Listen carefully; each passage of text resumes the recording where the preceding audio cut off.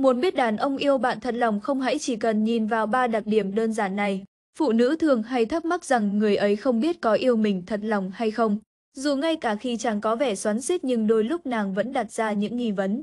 Đàn ông yêu bạn sẽ phải kè kè cạnh bạn hay phải nhắn tin hỏi bạn sáng, trưa, tối em ăn gì, hoặc nói anh yêu em thường xuyên.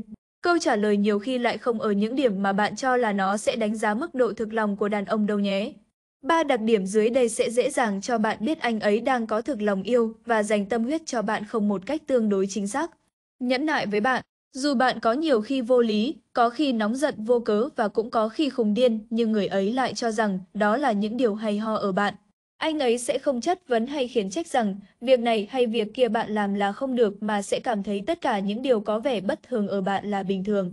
Thậm chí còn hay ho là khác. Có lúc bạn ra khỏi nhà rồi lại quên một món đồ và khiến anh ấy phải quay lại dù đã đi được một phần hai chặng đường. Nhưng anh ấy vẫn nhẫn nại chấp nhận điều này một cách đầy bao dung.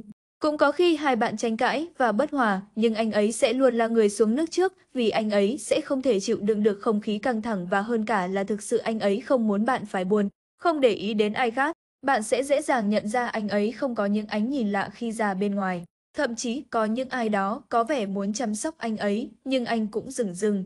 Ai đó có nói rằng là đàn ông sẽ không thể nào thôi nhìn phụ nữ hấp dẫn ở trên phố.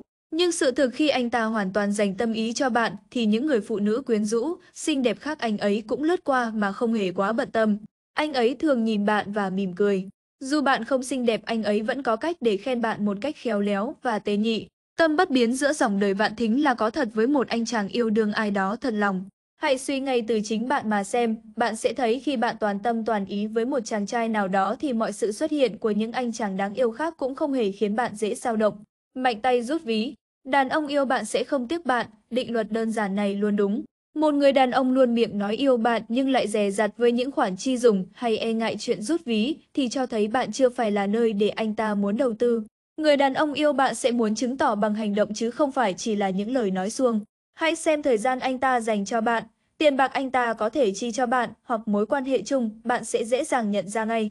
Đơn giản thôi bởi đàn ông là người biết rõ nếu muốn một mối quan hệ tốt đẹp thì người phụ nữ của anh ta phải cảm thấy vui vẻ. Tiền bạc thì ai cũng quý cả, nhưng nếu như người phụ nữ của anh ấy thích cầm tiền anh ấy cũng sẵn lòng đưa, hoặc có những khoản chi dùng anh ấy có thể cũng sẽ sẵn sàng dốc hầu bao để giảm áp lực tài chính cho bạn.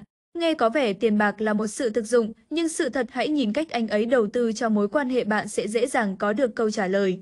Khi một người đàn ông yêu bạn, thì sự thực là anh ấy sẽ muốn làm chiếc ô che chở cho bạn được an toàn, hạnh phúc. Chỉ ba dấu hiệu đơn giản trên đã có thể cho bạn biết câu trả lời là gì. Nếu như bạn có sự nghi ngờ rằng anh ấy có yêu mình không thì chỉ có hai phương án xảy ra. Một là bạn là người quá đa nghi và hay nghĩ ngợi lung tung. Hai là đúng anh ấy không hề yêu bạn, vì những người đàn ông yêu đương thực lòng dễ khiến phụ nữ cảm thấy an toàn và bình yên trong một mối quan hệ mà không phải nghi ngờ. Không loại trừ có những mối quan hệ bạn hoàn toàn yên tâm cho đến khi chàng lòi đuôi cáo ra, điều đó lại phải trách bạn đã bị mờ mắt bởi những lừa phỉnh mật ngọt mà không soi đến những hành động thực tế mà anh ta dành cho bạn.